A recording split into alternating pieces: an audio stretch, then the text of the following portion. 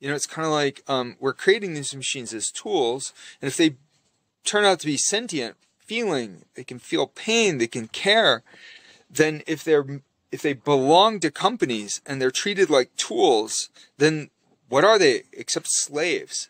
Robota, like Karl Čapek and his brother coined the term uh, from the Czech uh, term for forced labor or slave.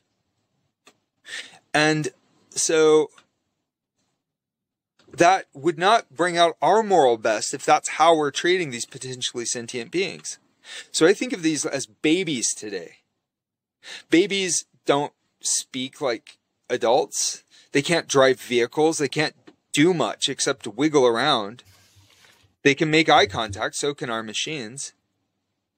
So maybe our machines are like infants or or something like that. Maybe they're not yet quite like babies. Maybe they're more like zygotes or embry- embryo embryonic intelligence or something. But they have the vocabulary and capabilities way beyond what a baby has, and they're missing some that a baby has. So, I mean, in some regards, these are these are possibly eventually sentient beings in their infancy,